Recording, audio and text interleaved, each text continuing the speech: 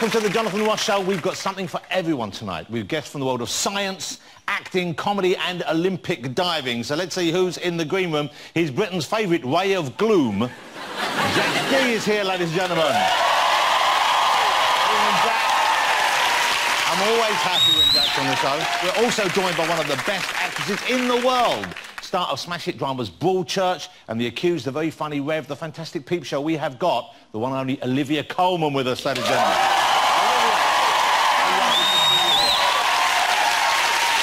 Thank you for joining us.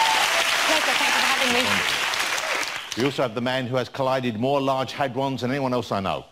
He's the sexy scientist, he's the buff buff, and it's Professor Brian Cox, ladies and gentlemen. Hello. And we have the star of Splash, an actual Olympic medalist, our very own Tom Daley is in the green room. Ladies and gentlemen, there he is. Right there. Hello, Tom. I Hi. imagine just a nice quiet week for you this week? Yeah, we've been pretty quiet. yeah. We got nothing to talk about. Tom Daley is on the show, and we have great music from the fantastic Ellie Goulding. Good evening, Ellie. Okay, so that's the show. Before we get to that, I want to share this with you because David Cameron has been in China on a trade delegation this week promoting our interests abroad. He's probably selling them Birmingham or something. Now, he's obviously been to a lot of banquets, and because he's a respectful fellow, he has no doubt eaten everything that's been put in front of him because if you're in China, that's the respectful thing to do, okay, no matter how strange it is to us. Apparently, he's had not one, but two portions of tropical stinkhorn. tropical stinkhorn. If Glade bought that out as a plug-in, I don't think they'd sell many. Didn't know what a tropical stinkhorn was, so uh, we, we found a photograph. This is, apparently it's a mushroom. This is what it looks like. now, come on, you're better than that. How hungry was the first person who said they'd try eating one of those, you think? Uh, now, the thing about tropical stinkhorn is that it is a well-known Chinese aphrodisiac. It's been likened to like a natural Viagra, and he's eaten it twice in one day. Sam Cam wasn't out there with him? So I think that explains this picture. I'm feeling something. And then this picture later on. Daddy like. And then certainly this one. Look at that. Mmm, baby. Should we get my first guest out, ladies and gentlemen?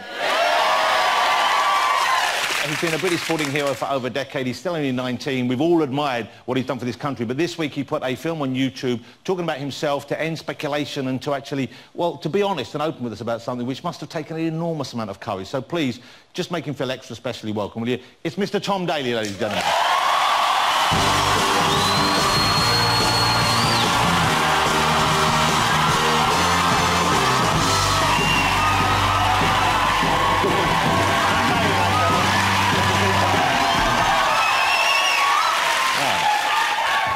Well, that was a lovely and very warm welcome, as I Yes. hope you... Uh, Thank you, you guys. Okay. There's,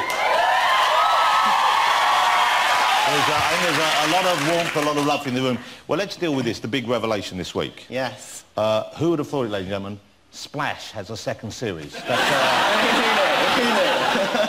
I know. It's crazy, I know. what a thing. What a thing to have to announce. I know, I know. Uh, we're going to talk about this a bit first before we talk about other issues because let's talk about this. So let's get the TV stuff out of the way. Yes. Because there is another series of Splash after Christmas, uh, and the last one was a huge success. Were you surprised at how popular it was? Well, I mean, it started off a little bit shaky. People had mixed opinions about it, but I had so much fun. And if someone was to tell me, like 10 years ago when I started diving, there was going to be a Saturday night TV show about diving, I'd have been like, yeah, right. But I mean, it's, it kind of took off. The ratings kind of spoke for themselves and it got more and more. So yeah, it was great. And uh, we have to something. I know you can't say uh, which celebrities are taking part in this series, but uh, I believe there's someone close to my my life involved in it. Yes, I believe your brother is taking part. My brother year. Paul is yeah. going to be... Uh, and you've worked with... oh,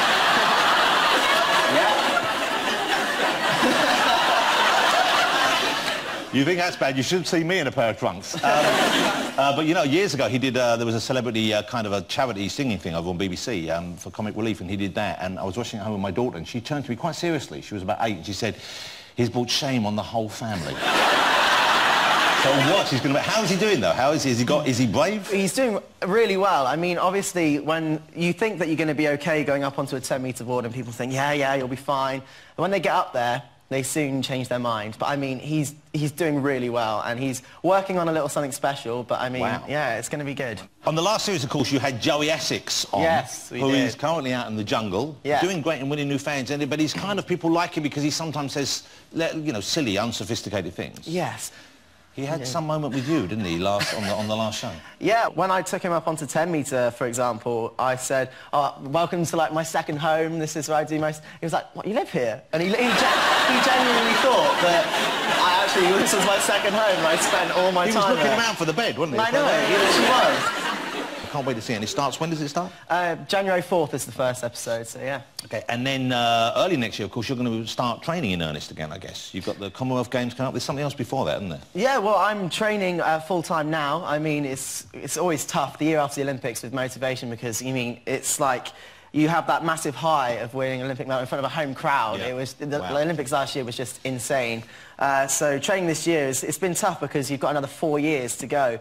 But I'm working hard and making sure that I can get to the Commonwealth Games next year in the best shape I possibly can. We've got the uh, National Championships in February, uh, so just working towards them at the moment. You said, uh, you know, the home crowd for the Olympics um, here in London was incredible. Yeah. And obviously everyone was so excited. And you, and you did fabulous. I, you know, you, you, you won a medal for us. I know it wasn't necessarily the one you were after, Yeah. but you'd got an Olympic medal. That's incredible. You're hoping the support will, will be there for you uh, in 2016. I suspect you'll find more than ever before. Um, and you know what I'm saying. Yeah. Which brings us uh, to the announcement you made this week, the film you put on YouTube, which was... Uh, Yes. to tell us about the, the thought process leading up to that. Why on YouTube? Why now? Well, to be honest, it was a terrifying decision to make. I didn't know what the reaction was going to be like. I didn't know how it was going to go, but I just felt like I needed to say something. I, I mean, there was rumours, there's speculation and all that kind of stuff, and I just wanted to be able to say something in my own words from my heart because I, I didn't know what else to do and I didn't want to be like caught on the back foot like of anything. I wanted to be able to be honest and open about my life and obviously some parts of my life are private, not very many, I'll give you that. but I mean, it, I felt like I had to say something and I, right now I couldn't be happier. I mean, the support and the reaction has just been amazing and it's because I had it could go one of two ways I mean uh, but everyone's been so supportive and like like just have to like thank everyone for being so supportive Well, I, I don't think...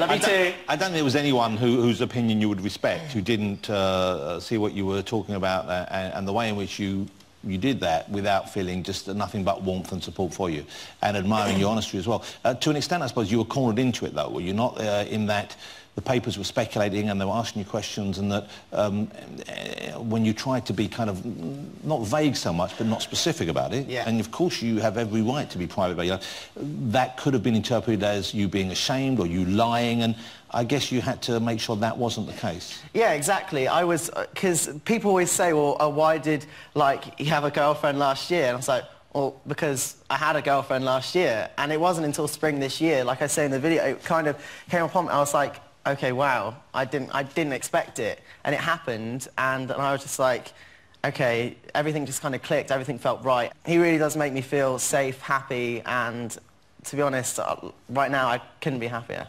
You said you were surprised. In the film you said you were surprised. Were you surprised by the fact that, that this was a guy you were falling for or were you surprised by the depth of the feeling or the strength of the feeling you felt? What, what was it that surprised you? It was the fact that I was falling for a guy, and it happened so quickly. I, I'd never, I mean, I thought I'd really liked someone before, um, but I'd never felt the feeling of love, and it happened, and I was just like completely overwhelmed by it, like to the point where I just, I, I like can't get him out of my head all the time, and it's, I mean, it's, I know, it's kind of sound really soft, but it's true, and it, I've never had it before where, like, I love someone and they love me just as much as I love them because I'm used to, I, believe it or not, I'm always used to rejection when it comes to girls and dates. Honestly, seriously. now, now I don't know if I believe you no, no, anymore. no, I'm serious, honestly. But yeah, I've never been in a position before where I felt so happy and yeah, in So love. this is really the first time you've, you've fallen in love? Yeah, this definitely is the first. I mean, I thought I'd felt feelings like it before, but I mean, this kind of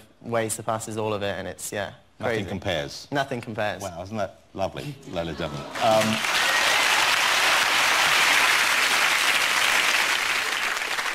You must feel a degree of relief, I would have thought, the fact that you don't have to even think about people asking you anymore. Exactly. There's, there's all, it was all the time, like when I was doing interviews with sport, when I was doing interviews with whatever interview I was doing. It was always, are you in a relationship? Who are you dating? You've got a girlfriend? All that kind of stuff. And it, it felt like it was my dirty little secret. I mean, it was one of those things that it felt like I was, like I had chains wrapped around me. I couldn't say anything. I couldn't be who I wanted to be. I felt so alone and trapped um, in who I was. And just telling one person made me feel like so much better. Like the first person I told uh, was my friend Sophie. Um, and it, it, just telling one person was just it just took such a weight off my shoulders to be able to talk about it with someone. You know, you mentioned the thing as well, you mentioned your father, and people have said to you, what would your father have made of this? Yeah. And uh, I guess that, you know, we, we talked about this when you were on my show last time about the tragic loss of your father so young in your life. Uh, it would have been nice to be able to tell this, of course, but he seemed like he was a very chilled guy anyway. I got the feeling from you. I mean, my dad was always a joker, without a doubt. Uh, it's quite funny. All my family on my dad's side, they're kind of like the practical joking type. And I mean, they've got banter. As soon as I, like, literally, the first thing, I'd, when I went into my Uncle Jamie's house, I walked in and the first thing he said to me, so would you, would you like a cup of tea? So I was like, yeah, sure, let's have a cup of tea. He was like, how'd you take it? and I was like... so he, he, he, hadn't seen the clip? no, no. and this was the day before, like, because I had to tell everyone on the Sunday before, like, before I recorded the clip, and I was just like, okay, wow, okay, now I'm going to have to go and say something. But he always, they, my family have always got that sense of humour, and they're all so supportive of me, and I, can, I couldn't ask for anything more. I mean, the incredible thing is, it's very unusual um, for someone who is a sports person in the prime of their career to mm. have the courage to come out. I mean, normally, you know, there are people, and this is not me in any way uh, being uh, kind of dismissive of them or trying to undermine them, but sometimes it's normally near the end of their career that people say, okay, by the way, I need to say this about myself as well. Yeah. But for you to say it at the very beginning, really, or the early stage of your career, I think that's what's impressive like I say in the video, I've always wanted to be honest about everything. I mean, I may have been vague because I, I wasn't necessarily comfortable like talking about uh, that kind of I stuff. I guess you weren't necessarily certain. What, exactly. What, yeah. Like when, you, when you're growing up, you may always have those kind of thoughts, but you think, no, it can't be right. I felt like I was, there was something wrong with me. I didn't know, I didn't know other people out there felt that way. I didn't know it was uh, something that people like do. I just literally thought, I felt so alone and I felt so like locked away. I like, felt like I couldn't say anything. I couldn't be who I wanted to be. And like from Monday, I felt like I could just be myself.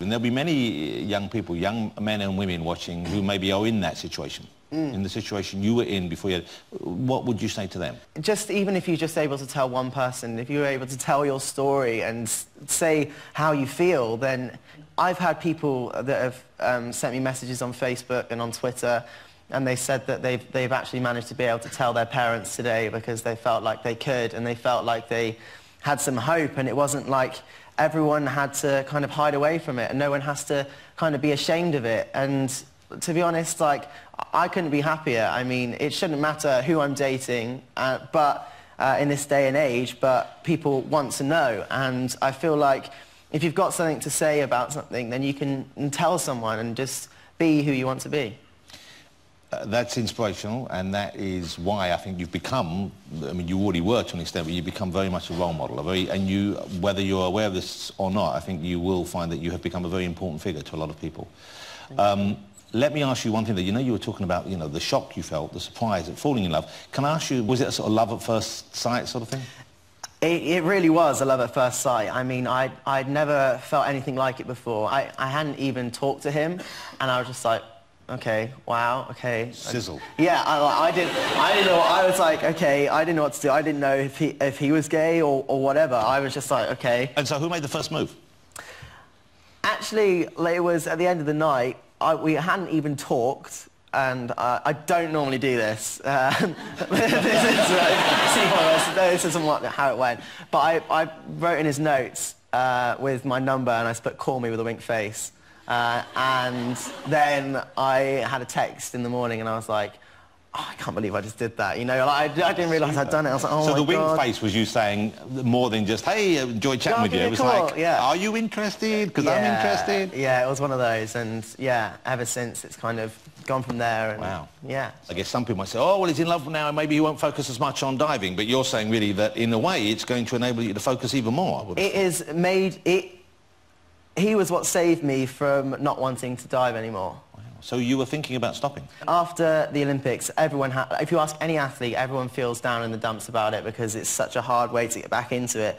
But meeting someone, uh, it, he just he just gave that extra motivation and, and made me think there's like yeah, and he just made me work so hard and just like it was yeah, he's just exactly what I need. I think we've all just fallen in love with him, to be honest with you. he sounds great. Honestly, he, re- he really is, and I hope everyone can. I hope everyone is so like as supportive. Once again, I I, I think I, I speak more or less for everyone here when I say um, how proud we are of you, which might sound weird, and I hope it doesn't, but we're, we're proud of you. Thank you. So thank you.